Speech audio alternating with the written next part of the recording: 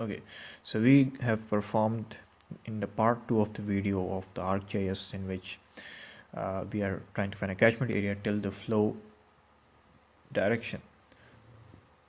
Uh, next step is the flow accumulation. So let's do that. So for that let me zoom it out a little bit. Why is it so much zoomed in? Okay now it's fine. The flow accumulation is here. Just click on it. Select the flow direction raster. So it is flow direction and don't select anything else and then okay. Now wait for it. It will take time. Now this step will take a lot of time. So let me pause the video. I mean let me pause the video recording not video. So it is still um, being performed the flow accumulation. So let me tell you something. If you had selected the whole earth or a whole region or the whole country here in your ArcGIS uh, image for the uh, for the catchment area calculation. So imagine how much time would it take. It, it it will take a lot of time.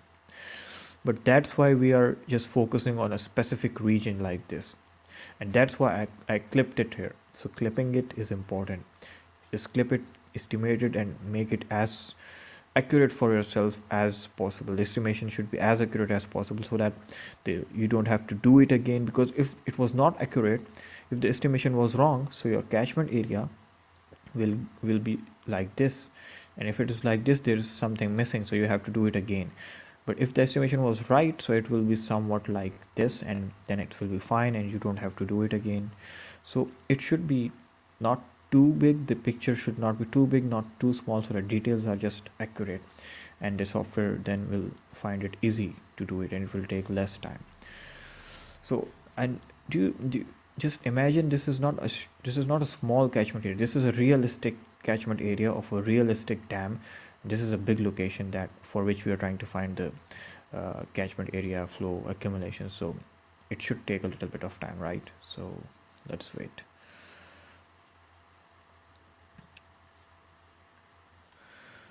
okay so finally the flow accumulation point uh, have been performed completed.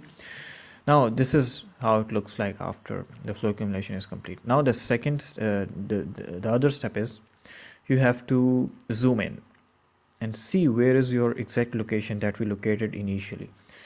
See if it is on any point where the water is flowing.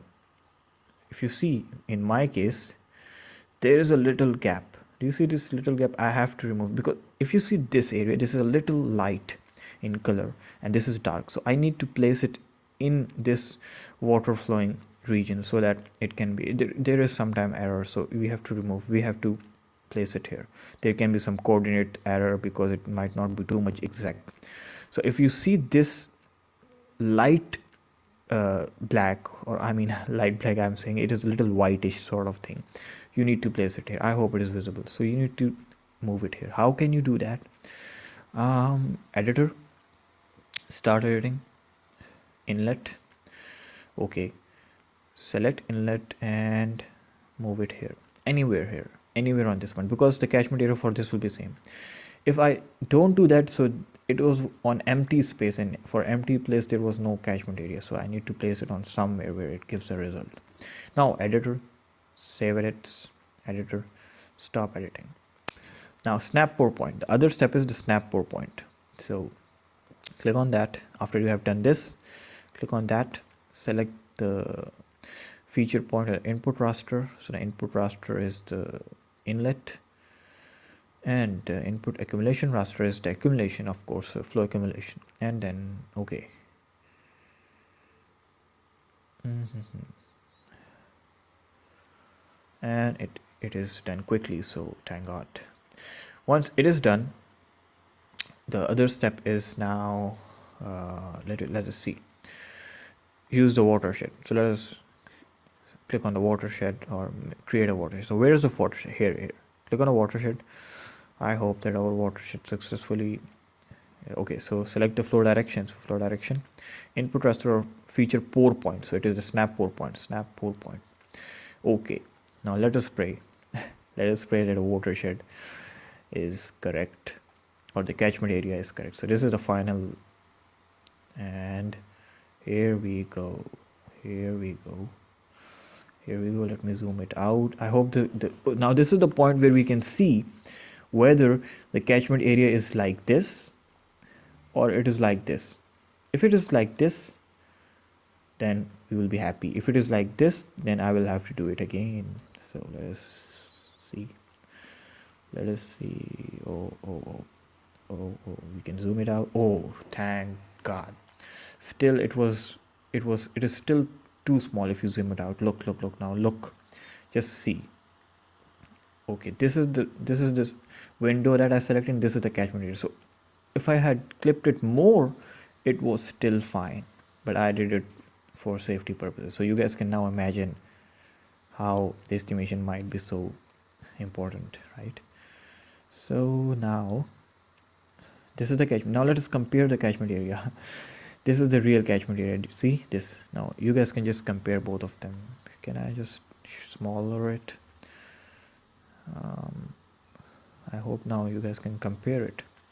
You guys see this area this area and you guys can just come keep on comparing it. So it is quite accurate right? So yeah yeah yeah yeah done.